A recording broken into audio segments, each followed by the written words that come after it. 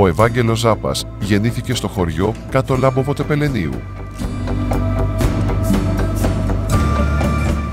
Το 1824 έγινε ταξίαρχος και διοίκησε τα βλαχοχώρια των Σαλώνων. Σύμφωνα με πηγές, πολέμησε με τον Καραϊσκάκη, τον Κολοκοτρώνη και τον Οδυσσέα Ανδρούτσο.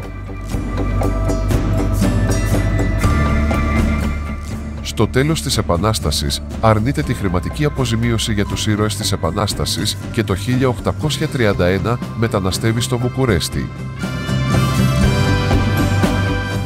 Σε τρεις περίπου δεκαετίες απέκτησε τεράστια περιουσία και αντίστοιχα εισοδήματα. Ο κύριος αποδέκτης των ευεργεσιών του ήταν η Ελλάδα. Η πιο εντυπωσιακή εκδήλωση της προσφοράς του προς την Ελλάδα ήταν το εγχείρημα αναβίωσης των Ολυμπιακών Αγώνων.